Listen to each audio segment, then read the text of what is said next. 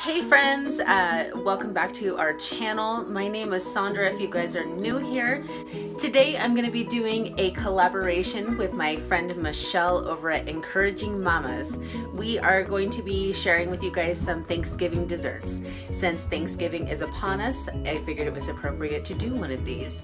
Um, so today I am going to be showing you guys my mother-in-law's um, cranberry sauce recipe.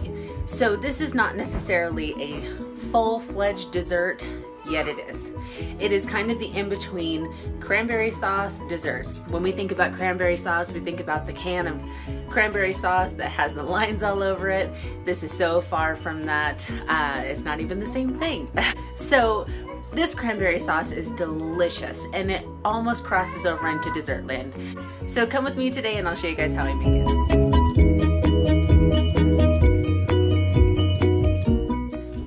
I'm gonna be starting out by making the cranberry sauce on the cook stove because we have to add it in there a little bit. So I've got a pan here and I'm going to put one pound of cranberries in it. Excuse me, it was 12 ounces, not a pound. And these are, these are just store-bought frozen cranberries from Walmart, I think.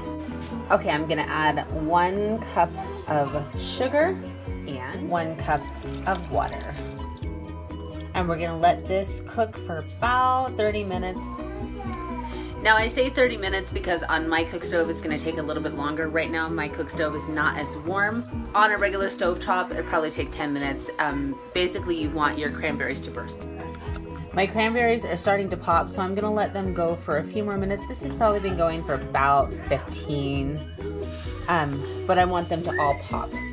Okay, my cranberry sauce is done. I just pulled it off the cook stove. I'm gonna let this sit in the fridge overnight and I'll show you guys how to assemble this delicious cranberry sauce.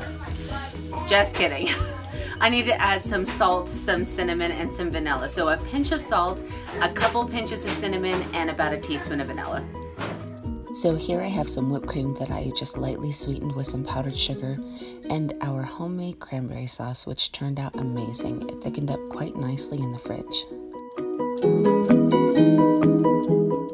To complete this recipe, we need some Ritz crackers, which to me is the secret ingredient. It makes it so amazing, and you need a rolling pin to smash them up, possibly get out a little aggression while you're at it.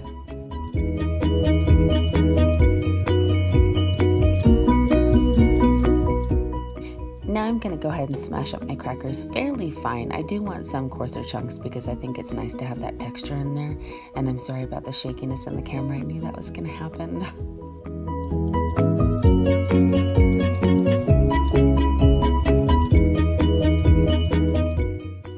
Now comes the fun part. We're going to start layering this, what is kind of like a cranberry trifle. You want to make sure that you push your cranberry sauce to the edge of your clear pan though, so you can see the cranberry peeking through the whipped cream.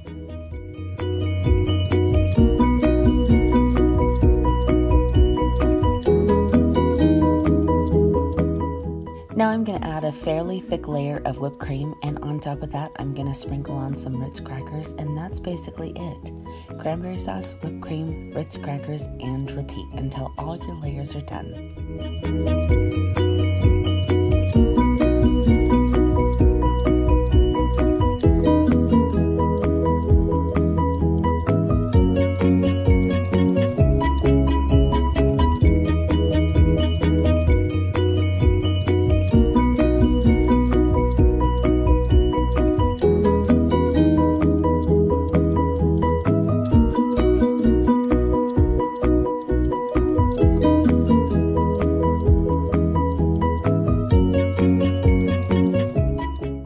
Make it pretty, I'm going to sprinkle a little bit of Ritz crackers right in the middle and dollop a little bit of cranberry sauce on top just so everybody knows that this is cranberry sauce.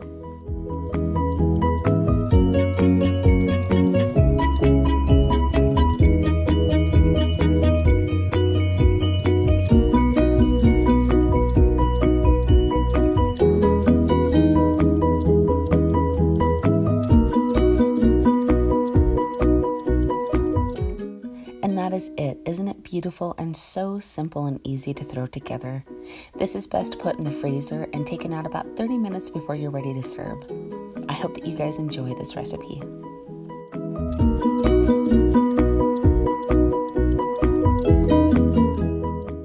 Okay, so that is it. That is our traditional cranberry sauce that we always have every Thanksgiving. Thank you again, Debbie, for the recipe. If you guys enjoyed this recipe and you're going to give it a try, let me know down in the comments. I hope you guys have a wonderful Thanksgiving. Don't forget to check out Michelle's channel. I will leave it in the description below.